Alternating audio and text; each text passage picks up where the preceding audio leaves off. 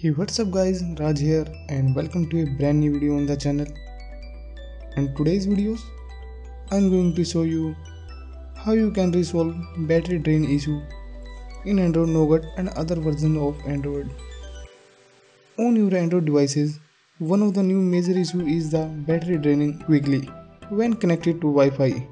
Yes, your phone consumes more battery when it's connected to Wi-Fi. But don't worry, a hidden setting will solve your battery drain on Android Nougat. Okay, there are two settings that I changed. So let's quickly enable the first setting. So first of all, go to your device settings, select Wi-Fi, tap on this gear icon. Now hit on keep Wi-Fi on during the sleep. Choose never instead of always. That's it. So now what it does when your device start to deep sleep mode or when you are not using your smartphone it switch off the Wi-Fi automatically. So there will be no Wi-Fi drain.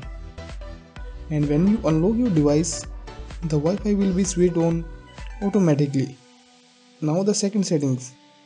Again go to your phone setting select location now hit on this three dot icon. Select scanning and disable both scanning. You have now reduced the power consumption Wi-Fi has on your battery.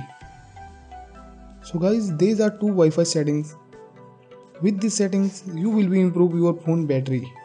Not much more, but anyway, try yourself and let me know how the setting was for you.